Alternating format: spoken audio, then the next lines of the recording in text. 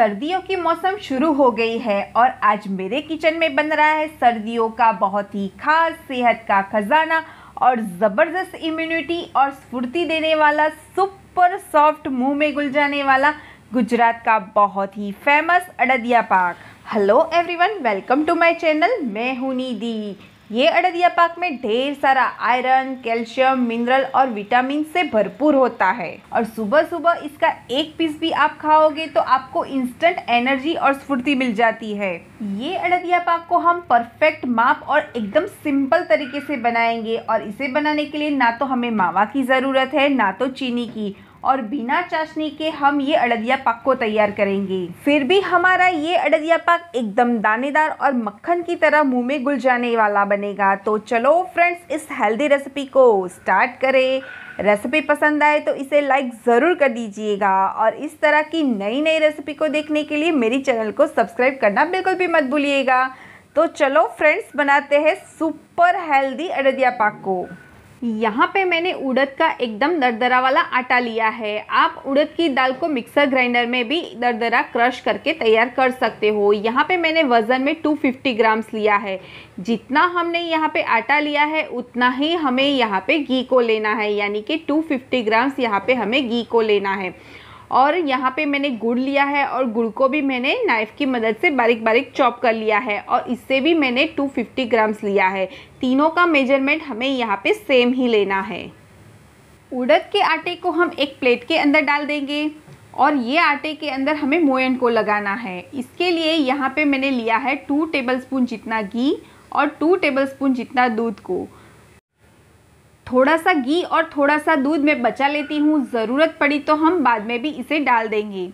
इसके रेसे रेसे के अंदर मोयन अच्छे से चला जाए, इसी तरह से हमें इसे मिक्स कर लेना है। ट्रेडिशनली गुजरात के अंदर मोहन थाड़ बनाते हैं और मोहन थाड़ के अंदर भी इसी तरह से मोयन को लगाते हैं। वैसे ही सेम यहाँ पे हमें उड़द के आटे के अंदर भी मोयन को लगाना है। जो हमने दूध और घी को बचा दिया था, वो दूध और घी को भी मैं डाल देती हूँ इसके अंदर और अच्छे से मैं मिक्स कर लेती हूँ। इसी तरह से दोनों हाथों की मदद से इसे मिक्स करोगे तो इसके रेसे रेसे के अंदर मोयन अच्छे से चला जाएगा। आटे के अंदर अच्छे से मोयन लग जाने के बाद हाथों की मदद से हमें इस तरह से इसे प्रेस कर देना है और आधे घंटे के लिए हम इसे छोड़ देंगे। अभी हम अड़दिया पाक के अंदर डालने वाला मसाला तैयार कर लेते हैं। इसके लिए यहाँ पे मैंने लिया है जावित्री को और दालचीनी का टुकड़ा लिया है और छः से सात नंग लिया है मैंने लौंग को। अगर आपको जायफल यानी कि नट में पसंद है तो आप इसके अंदर थोड़ा सा टुकड़ा डाल सकते हो, लेकिन मैं अभी फ़िलहाल इसके अंदर नहीं डाल रही हूँ। और इलायची के दाने भी डाल सकते हो, लेकिन इलायची पाउडर मेरे पास पहले से ऑलरेडी बनाया हुआ तैयार है तो मैं इसका इस्तेमाल बाद में करूँगी। इसीलिए यहाँ पे मैंने सिर्फ़ तीन इंग्रेडिएंट लिए हैं और इसे हम मिक्सर ग्राइंडर में क्रश करके इसका पाउडर तैयार करेंगे। अभी हम ये पाउडर को साइड में रखेंगे और जो आटे को हमने सेट करने के लिए रखा था, वो भी अच्छे से सेट हो चुका है। तो अभी हम मिक्सर ग्राइंडर लेंगे और इसके अंदर ये आटे को हम डाल देंगे। ट्रेडिशनली तो बड़ी वाली छन्नी लेके इसे छान लेते हैं और इस तरह से आप करोगे तो इसके अंदर समय भी ज़्यादा जाता है और मेहनत भी ज़्यादा लगती है। लेकिन जो आज मैं आपको तरीका बताती हूँ, वो तरीके से आप यहाँ पर आटे को तैयार करोगे तो बहुत ही समय कम लगता है और बहुत ही कम मेहनत लगती है।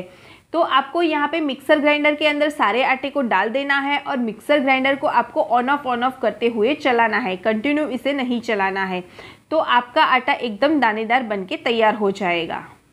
यहाँ पे हमारा दानेदार उड़द का आटा तैयार है तो अभी हम एक बाउल के अंदर इसे ट्रांसफ़र कर लेते हैं। अभी हम एक हैवी बॉटम वाली कढ़ाई लेंगे और कढ़ाई के अंदर हम घी को डालेंगे। जो हमने यहाँ पे 250 ग्राम घी को लिया है, वही पूरा घी हम इसके अंदर डाल देंगे। घी अच्छे से मेल्ट हो जाने के बाद हम इसके अंदर उड़द का जो हमने दानेदार आटा तैयार किया है, वो आटे को हम इसके अंदर डाल देंगे। और गैस की फ्लेम को हम स्लो कर देंगे और स्लो फ्लेम पे हम इसे लगातार चलाते हुए इसे भून लेंगे। उड़द दाल में से हमें protein, vitamin B, iron, calcium और शरीर में गर्मी देता है और इंस्टेंट एनर्जी भी देता है। हड्डियों के दर्द को भी बहुत ही कम कर देता है और इम्यूनिटी को बूस्ट करता है। सर्दियों की मौसम में हमें इस तरह से उड़द या पाक को बना के ज़रूर खाना चाहिए। जो लोग पूरी सर्दियों के अंदर ये उड़द या पाक को खाते हैं, वो पूरे साल तक एकदम फिट एंड फाइन रहते हैं। ये गुजरात की ट्रेडिशनल रेसिपी है और सर्दी की मौसम में सबके घर पे ये उड़दिया पाक ज़रूर बनता है। गैस की फ्लेम को हमें स्लो ही रखना है और स्लो फ्लेम पे हमें इसे लगातार चलाते हुए इसे रोस्ट करना है। गलती से भी आपको इसकी फ्लेम को हाई नहीं करना है, नहीं तो ये जल जाएगा आटा। इसे रोस्ट होने में 15 से 20 मिनट लगती है। आप यहाँ पर देख सकते हो कि इसका कलर अभी चेंज होने लगा है। आटे को जैसे जैसे आप रोस्ट करोगे तो इसकी खुशबू पूरे किचन के अंदर फैल जाएगी। तो आपको पता चल जाएगा कि यहाँ पे आटा हमारा बहुत ही अच्छे से रोस्ट हो चुका है। इसे रोस्ट होते हुए 15 मिनट हो चुकी है तो अभी हम इसके अंदर डालेंगे गूंद को। इसे एडिबल गम भी बोलते हैं और डिंक भी बोलते हैं। तो यहाँ पर मैंने एक बाउल जितना लिया है और अभी हम इसके अंदर डाल देंगे। घी यहाँ पे एकदम गर्म है तो बहुत ही अच्छे से ये गुंद फ्राई हो जाएगा। तो हमें गुंद को अलग से फ्राई करने की ज़रूरत भी नहीं पड़ेगी। आप यहाँ पर देख सकते हो कि जैसे मैंने गुंद को डाला, वैसे ही तुरंत गुंद फूल फूल के ऊपर आ रहा है। अभी हम इसके अंदर ड्राई फ्रूट्स को भी डाल देंगे तो ड्राई फ्रूट्स भी बहुत ही अच्छे से इसके अंदर फ्राई हो जाएँगे। इसे भी हमें अलग से फ्राई करने की ज़रूरत नहीं पड़ेगी। यहाँ पे मैंने आलमंड और कैश्यू नट लिया है। आप यहाँ पर अपने मनपसंद कोई भी ड्राई फ्रूट्स का यूज़ कर सकते हो। यहाँ पे मैंने मोटे मोटे वाले पीसीस इसके करके तैयार किए हैं। अभी हम इसे एक से दो मिनट तक लगातार चलाते रहेंगे, जिससे ड्राई फ्रूट्स भी बहुत ही अच्छे से रोस्ट हो जाएँगे। इसके बाद हम इसके अंदर डालेंगे किशमिश को। किशमिश यहाँ पे मैंने नाइफ़ की मदद से छोटे छोटे पीसेस में कट कर लिया है। अभी हम इसके अंदर डालेंगे ड्राई कोकोनट को। कोकोनट को मैंने कद्दूकस करके लिया है और वन बाउल जितना लिया है, इसकी क्वांटिटी भी आप कम ज़्यादा कर सकते हो। अभी हम इसके अंदर डालेंगे चार टेबल स्पून जितना गंठोला पाउडर यानी कि पिपरामुड़ पाउडर और चार टेबल स्पून जितना हम इसके अंदर डालेंगे सौंठ पाउडर यानी कि ड्राई जिंजर पाउडर को। और जो पाउडर को मैंने मिक्सर ग्राइंडर में क्रश किया था, वो पाउडर को भी हम इसके अंदर डाल देंगे। और वन टेबल स्पून जितनी हम डालेंगे इलायची पाउडर को, सबको हम अच्छे से मिक्स कर लेंगे। अभी हम गैस ऑफ़ कर देंगे और ये कढ़ाई को हम साइड में रख देते हैं। और अभी हम लेंगे एक दूसरा पैन और पैन के अंदर हम डालेंगे टू टेबल स्पून जितना घी को। घी अच्छे से मेल्ट हो जाने के बाद हम इसके अंदर डालेंगे गुड़ को। गुड़ यहाँ पे जो नाइफ की मदद से मैंने बारीक बारीक चॉप करके तैयार किया है, वही गुड़ को हम इसके अंदर डाल देंगे। वज़न में 250 ग्राम्स है।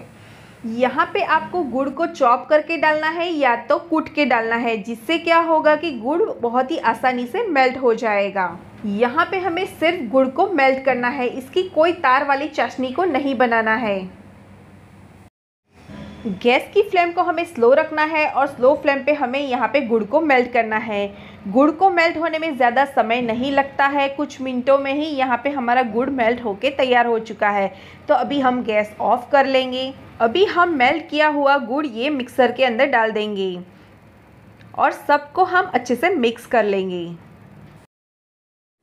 यहाँ पे हमारा उड़दिया पाक का मिक्सर बन के तैयार हो चुका है तो अभी हम एक प्लेट लेंगे और प्लेट के अंदर आधा मिक्सर को ट्रांसफ़र करेंगे। यहाँ पे हम उड़दिया पाक के दो अलग अलग शेप देने वाले हैं, इसीलिए यहाँ पे हम आधा मिक्सर को ही ट्रांसफ़र करेंगे और आधे मिक्सर का यहाँ पे हम दूसरा शेप देंगे। अभी हम इस तरह से चम्मच या कटोरी की मदद से इसे हम प्रेस कर देंगे और इसे एकदम स्मूथ बना देंगे। यहाँ पे मैंने उड़दिया पाक को बहुत ही अच्छे से सेट कर लिया है तो अभी हम इसके ऊपर डालेंगे ड्राई फ्रूट्स को। यहाँ पे मैंने आलमंड की एकदम पतली वाली कतरण को तैयार किया है तो अभी मैं इसके ऊपर स्प्रिंकल करूँगी। और थोड़े से पिस्ता को भी डालेंगे। और डालने के बाद हम कटोरी से इसे प्रेस कर देंगे तो बहुत ही अच्छे से ये इसके ऊपर चिपक जाएगा। और इसे दो से तीन घंटे तक इसे सेट करने के लिए छोड़ देंगे, और इसके बाद ही हम इसके पीसीस करेंगे। गुजरात के अंदर अड़दिया पाक दो अलग अलग शेप में मिलते हैं। स्क्वायर शेप में भी मिलता है और माउंटेन शेप में भी मिलता है। तो यहाँ पे मैं अभी माउंटेन शेप भी आपको बना के दिखाती हूँ। इस तरह से हमें हाथों के अंदर उड़दिया पाक को लेना है और हाथ की मदद से हमें यहाँ पे इस तरह से प्रेस करते हुए माउंटेन शेप दे देना है। मिश्रण यहाँ पे हमारा गर्मा गर्म हो, तब भी यहाँ पे हमें इसे शेप दे देना है और इसके ऊपर मैंने यहाँ पे काजू से इसे गार्निश कर दिया है। दो घंटे के बाद यहाँ पे जो थाली के अंदर हमने अड़दिया पाक को सेट करने के लिए रखा था, वो भी यहाँ पे अच्छे से सेट हो चुका है। तो अभी हम नाइफ़ की मदद से इसे स्क्वायर शेप में कट कर देंगे। यहाँ पे हमारा सुपर हेल्दी दानेदार मक्खन की तरह मुँह में घुल जाने वाला उड़दिया पाक बनके तैयार हो चुका है। इसे मैं आपको तोड़ के भी दिखाती हूँ। एकदम सुपर सॉफ्ट यहाँ पे हमारा अड़दिया पाक बन के तैयार हो चुका है। इस विंटर की सीज़न में आप इसे ज़रूर ट्राई कीजिएगा। आपके फैमिली मेंबर्स को बहुत ही पसंद आएगा ये उड़दिया पाक। मैंने आपके साथ विंटर स्पेशल मेथी पाक और खजूर गुंद पाक की रेसिपी भी शेयर की हुई है। लिंक आपको डिस्क्रिप्शन में मिल जाएगी तो वहाँ जाकर आप देख सकते हो। अगर आपको मेरी रेसिपी अच्छी लगती हो और इसी तरह की नई नई रेसिपी को आप देखना चाहते हो तो मेरी चैनल को ज़रूर सब्सक्राइब कीजिएगा। अगर आपने मेरी चैनल को सब्सक्राइब किया होगा तो ही मेरी आने वाली हर नई वीडियो की नोटिफिकेशन आपको सबसे पहले मिलेगी। और सब्सक्राइब करना बिल्कुल भी फ्री है। तो मैं निधि आपको फिर मिलूँगी एक नई रेसिपी के साथ। तब तक के लिए बाय एंड हैप्पी कुकिंग